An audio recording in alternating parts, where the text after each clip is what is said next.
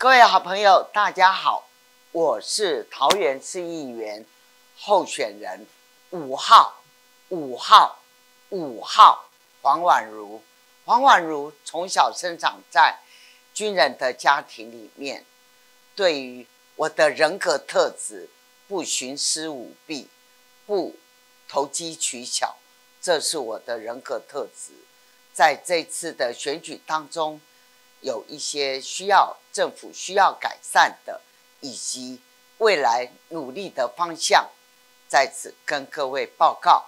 第一，就是我们老旧的社区需要都跟，再者一些闲置的土地也不能让它荒废在那里，我们可以用各种的方法，然后来让我们的市区，然后。让我们的土地能够有效的利用，让我们的市区会更美好，让我们的桃园能够更发达。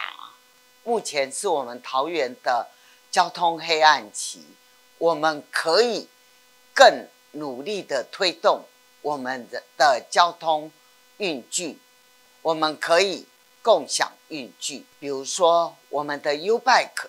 提升到二点零，以及我们的呃 U Moto，这些都是可以推动的。我们的呃中侧捷运的计划能够快快的能够定案，还有我们的绿色捷运，希望能够快快的完成。另外，我们要鼓励年轻人生育，要普设。托婴中心，而且义务教育要往下，要向下延伸一年，减轻年轻家庭养育孩子的负担。再者，我们对于青年的就业，我们更要辅导，不论是在创业或者是就业方向，对于我们中高龄的就业。我们更应该要积极的让他们能够重回职场。针对我们桃园市民的医疗的资源，我们更应该要催生桃园市立医院的成立，让我们不再受医疗资源短缺、受病痛之苦。能够有充分的医疗资源做后援、做保障。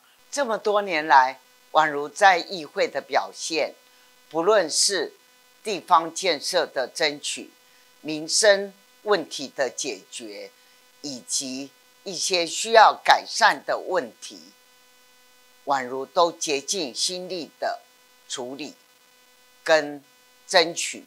五号，五号黄宛如。在此拜托大家，祝大家五福临门，五事齐昌，五路财神跟着您。五号，五号黄婉如，拜托拜托，拜托拜托。